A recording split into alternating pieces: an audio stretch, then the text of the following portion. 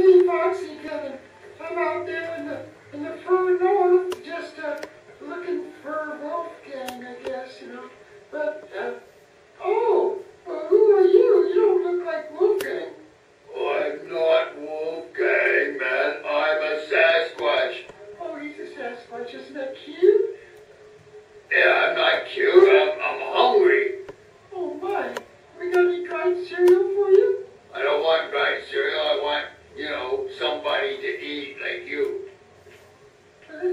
God is lovely, isn't it? I mean, he just wants to eat me.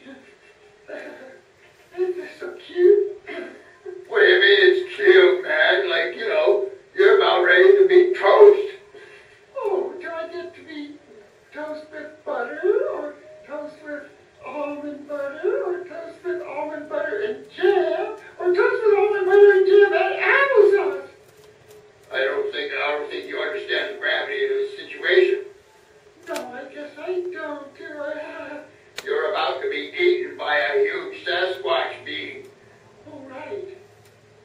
does that scare you or anything?